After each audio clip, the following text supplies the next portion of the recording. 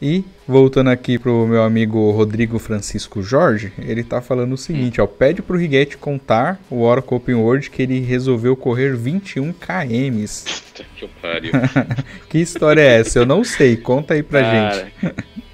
é, enfim, uh, eu, eu, eu, eu sou uma pessoa que acaba levando as coisas um pouco ao extremo, né? Eu comecei com esse negócio de correr e tal, e tava treinando bastante. Pô, e São Francisco é um visual muito bacana, né?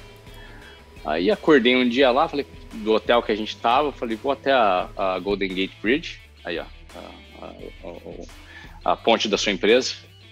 Uh, Boa. E, e, e, vou tentar ir até as montanhas que tem lá para trás. Nem tinha noção da distância que era, mas eu tinha colocado na cabeça que era isso que eu ia fazer e não tinha outra escolha a não ser terminar, né?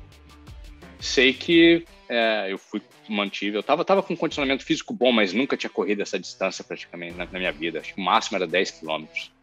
Só sei que no final da história, cara, no final da noite a gente tinha um evento e eu mal conseguia andar.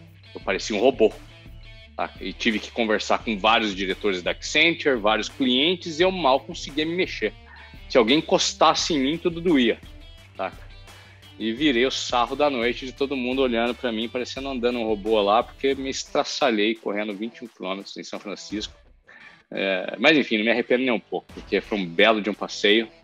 Uh, apesar de ter virado o sarro da noite, foi, foi muito bacana.